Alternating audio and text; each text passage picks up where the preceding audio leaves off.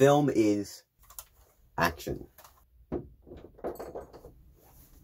Horror. Comedy.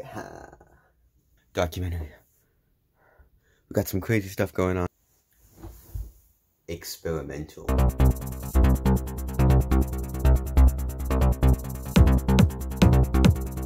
And TV as well.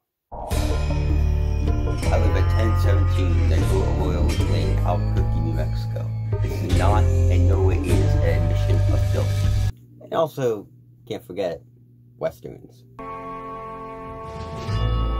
This town ain't big enough for the both of us. Someone's gonna have to go. And anything in between. Film is what you make of it. Film is what we create.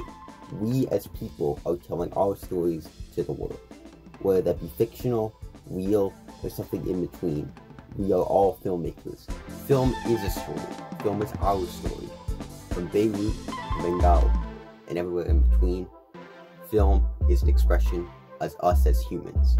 Whether to educate, entertain, or just create something for the world. Whether it be in one room or with millions of dollars on a Hollywood set. It can be whatever you want film to be. So